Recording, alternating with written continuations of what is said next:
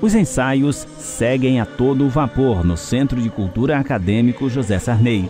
No Salão Nobre do Centro de Cultura, local onde vai acontecer as lives do São João que a gente quer em casa, a Junina Zé da Roça, uma das melhores juninas do estado do Maranhão, se prepara para uma grande apresentação.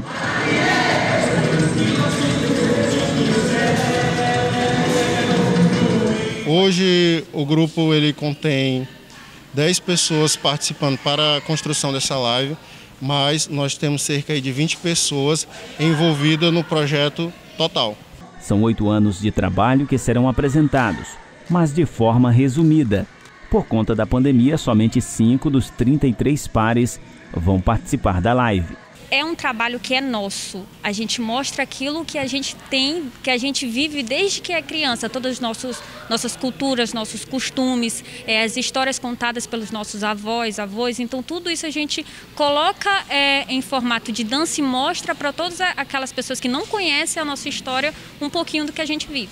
O São João que a gente quer em casa acontece de 24 a 30 de junho, no Salão Nobre do Centro de Cultura, das 18 às 22 horas com transmissão ao vivo pelas plataformas digitais da Prefeitura de Caxias.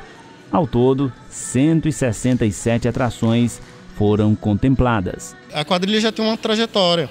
Ela surgiu no ano de 2013 e conseguiu uma grande façanha no ano de 2019 também, conseguindo o quarto melhor, a quarta melhor, se tornando na verdade a quarta melhor quadrilha do estado do Maranhão e tendo o melhor casal de noivos.